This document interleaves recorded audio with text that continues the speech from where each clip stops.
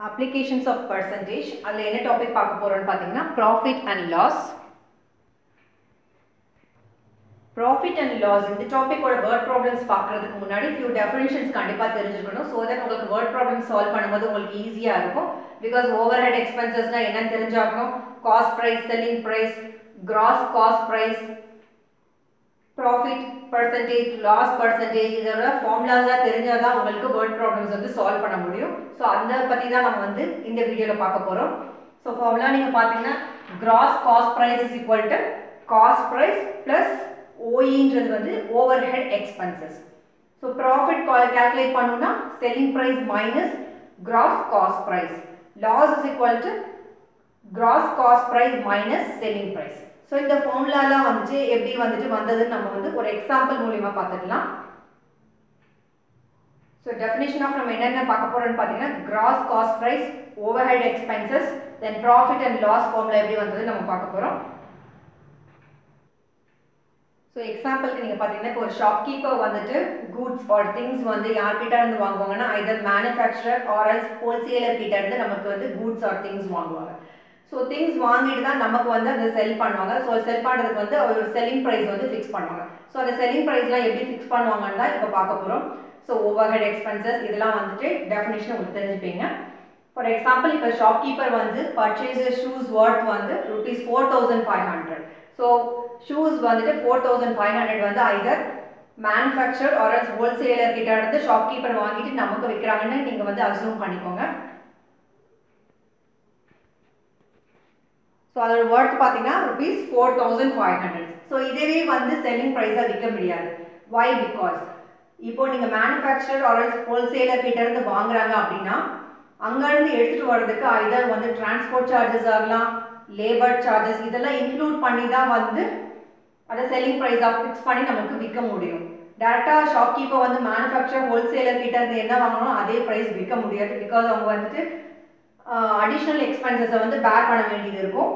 ஏன்னா transport charges இருக்கலாம் labour charges இந்த எக்ஸ்ட்ரா எக்ஸ்பெண்டிச்சர் வந்து இருக்கும். ஸோ இந்த எக்ஸ்ட்ரா எக்ஸ்பெண்டிச்சர் தான் என்னதுன்னா ஓவர் ஹெட் எக்ஸ்பென்சஸ் ஓஇன்னு மென்ஷன் பண்ணியிருப்போம் so overhead expenses so overhead எக்ஸ்பென்சஸ்ன்றது இந்த additional expenses which includes transport labour charges இதெல்லாம். ஸோ இந்த எக்ஸ் எக்ஸ்பெண்டிச்சர் நீங்கள் பார்த்தீங்கன்னா will becomes a part of the cost price so இப்போ cost price four thousand five hundred இருக்குன்னா அது கூட அடிஷ்னலாக வந்து இந்த additional charges including transport charges அப்புறம் வந்துட்டு labour charges so this expenditure will become the part of cost price கூட இதையும் நீங்கள் ஆட் பண்ண வேண்டியது இருக்கும். ஸோ அதுதான் வந்து ஃபார்முலாவில் நம்ம மென்ஷன் பண்ணியிருப்போம் gross cost price is equal to cost price plus overhead expenses இப்போ ஃபோர் தௌசண்ட் ஃபைவ் ஹண்ட்ரட் ருபீஸ்க்கு வந்து மேனுஃபேக்சர் ஹோல்சேலர் கிட்டேருந்து வாங்கியிருக்காங்கன்னா அங்கேருந்து கூட்ஸை வந்து எடுத்துகிட்டு வரதுக்கு ஆயிரம் ரயில்வே ஸ்டேஷன்லேருந்து எடுத்துகிட்டு வந்துருந்துருக்கலாம் டிரான்ஸ்போர்ட் ஏதாவது வெஹிக்கிள் ஏதாவது யூஸ் பண்ணியிருக்கலாம் அப்புறம் அங்கேருந்து திருப்பி வந்து ஷாப்புக்கு கொண்டுட்டு வரதுக்கு லேபர்ஸ் யூஸ் பண்ணியிருக்கலாம் ஸோ அந்த சார்ஜஸ்லாம் வந்து இன்க்ளூசிவாக இருக்கும்.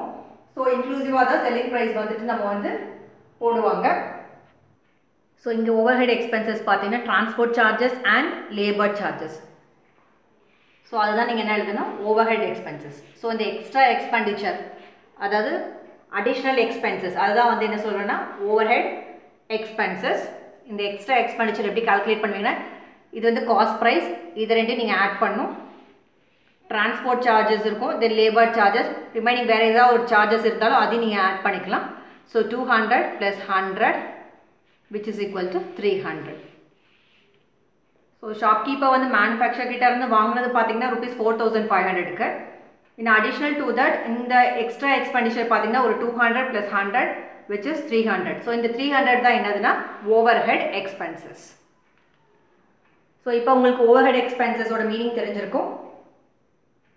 நெக்ஸ்ட் இப்போ வந்து gross காஸ்ட் ப்ரைஸ் இது எப்படி கால்குலேட் பண்ணுவீங்கன்னு பார்த்தீங்கன்னா நம்ம formula பார்த்தோம்.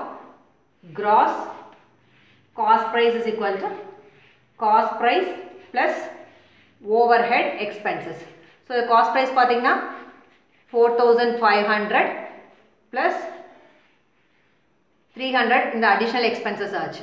இது மேனுஃபேக்சர் கிட்டேருந்து வாங்கினது ஹோல்சேலர் கிட்டேருந்து வாங்கின ப்ரைஸு ஷூஸோட ப்ரைஸு இது வந்து அடிஷ்னல் எக்ஸ்பென்சஸ் இது ரெண்டையும் நீங்கள் ஆட் பண்ணிங்கன்னா four thousand eight hundred rupees இது வந்து.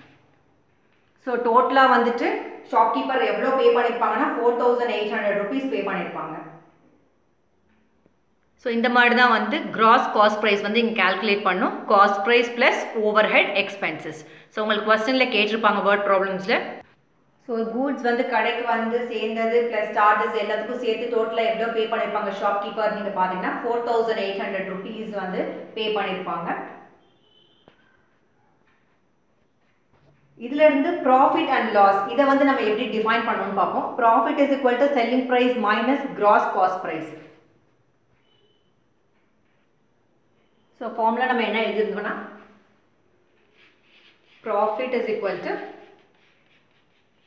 selling price minus gross cost price which means இது என்ன சொல்லியிருக்காங்க அப்படின்னு பார்த்தீங்கன்னா if the selling price is more than the gross cost price then there is a profit எப்போ ப்ராஃபிட்னு சொல்லுவோன்னா இப்போ கிராஸ் காஸ்ட் ப்ரைஸ் வந்து ஷாப்கீப்பர் வந்து டோட்டல் எவ்வளோ ஸ்பெண்ட் பண்ணியிருக்காங்கன்னு பார்த்தீங்கன்னா four thousand eight hundred rupees இப்போ இதவே வந்துட்டு ஃபைவ் தௌ தௌசண்ட் ருபீஸ் வந்து செல்லிங் ப்ரைஸ் ஃபிக்ஸ் பண்ணாங்க அப்படின்னா அதை என்ன சொல்லுவோம்னா profit why because four thousand eight hundred rupees க்ரா வந்து பே பண்ணதை வந்து ஃபைவ் தௌசண்ட் ருபீஸ்னு விற்றாங்கன்னா மைனஸ் கிராஸ் காஸ்ட் ப்ரைஸ் இதோட காஸ்ட் ப்ரைஸ் மொத்தம் எவ்வளோனா four thousand eight hundred inclusive of அந்த அடிஷ்னல் சார்ஜஸ் எல்லாமே சேர்த்து பட் அதை விற்கிறது எவ்வளோ ரூபாய்க்கு விற்றுருக்காங்கன்னா ஃபைவ் தௌசண்ட் ருபீஸ் அப்படின்னா பேலன்ஸ் எவ்வளோ வரும்?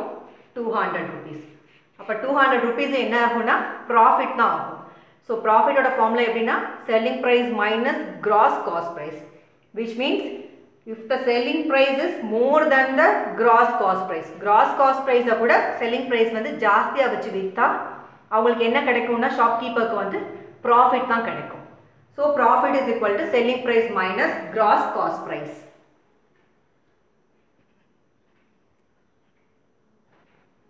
next நீங்க பார்த்தீங்கன்னா loss is equal to gross cost price minus selling price if the selling price விற்கிற ப்ரைஸ் வந்து less than the gross cost price அப்படின்னும் போது ஷாப்கீப்பருக்கு வந்து லாஸ் தான். ஆகும் எப்படின்னு பார்த்தீங்கன்னா இதை வந்து ஃபோர் தௌசண்ட் எயிட் ஹண்ட்ரட் ருபீஸ்னு கிராஸ் காஸ்ட் ப்ரைஸ் ஃபிக்ஸ் பண்ணியாச்சு. ஆனால் இதை விற்கிறது வந்துட்டு ஃபோர் தௌசண்ட் ஃபைவ் ஹண்ட்ரட் ருபீஸ்னு வச்சுக்கோங்க. ஸோ இதனால் என்ன ஆகும்? த்ரீ ஹண்ட்ரட் ருபீஸ் வந்து லாஸ் தான் ஆகும் ஷாப்கீப்பருக்கு பிகாஸ் டோட்டல் இந்த ப்ராடக்ட் அந்த அடிஷ்னல் சார்ஜஸ் எல்லாம் சேர்த்து மொத்தம் வந்து four thousand eight hundred rupees ஆனால் விற்கிறது வந்துட்டு ஃபோர் தௌசண்ட் ஃபைவ் ஹண்ட்ரட் ருபீஸ்க்கு வந்து விற்றாங்கன்னா பேலன்ஸ் பார்த்தீங்கன்னா த்ரீ ஹண்ட்ரட் ருபீஸ் எப்படி ஆகும்? ஷாப்கீப்பருக்கு வந்து லாஸ் தான் ஆகும். பிகாஸ் அவர் விற்கிற ப்ரைஸ் வந்து கிராஸ் ப்ரைஸை விட கம்மியாக விற்கிறனால so loss is equal to gross cost price minus selling price so இந்த வீடியோவில் இருந்து கிராஸ் காஸ்ட் ப்ரைஸ் அதாவது ஃபார்முலா நம்ம பார்த்துக்கிட்டோம். Cost price plus overhead expenses இந்த ஓவர் ஹெட் எக்ஸ்பென்சஸ்ன்றது வந்து அடிஷ்னல் எக்ஸ்பென்சஸ் இந்த எக்ஸ்ட்ரா எக்ஸ்பெண்டிச்சர் தான் வந்துச்சு ஓவர் ஹெட் எக்ஸ்பென்சஸ் அதில் வந்து if the selling price is more than the gross cost price அப்படி இருந்ததுன்னா ப்ராஃபிட் தான் கிடைக்கும் so profit is equal to selling price minus gross cost price if the selling price is less than the gross cost price gross cost ப்ரைஸை கூட selling price கம்மியாக இருந்துச்சுன்னா then there will be a loss. So loss is equal to gross cost price minus selling price.